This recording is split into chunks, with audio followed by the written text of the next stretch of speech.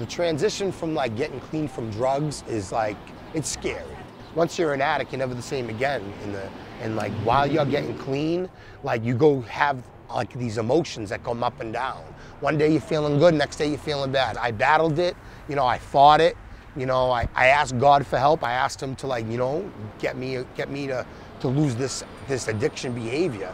I started doing drugs at like 13 years old, you know, kind of just like being young and just wanting that fast paced life. Next thing you know, I was addicted and, you know, I was 25 years old, still on drugs. I went to jail for my last time.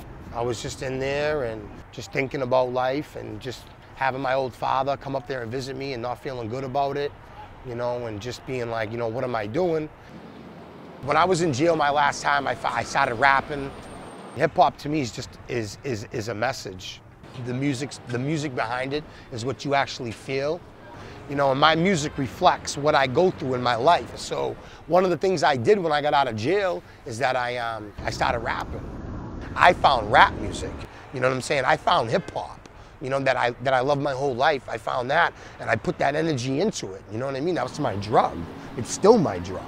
I keep doing it more and more because like I have something to offer to people. You know, if I have a chance to meet them and stuff, like I could change lives. And that's basically what keeps me going every day right now.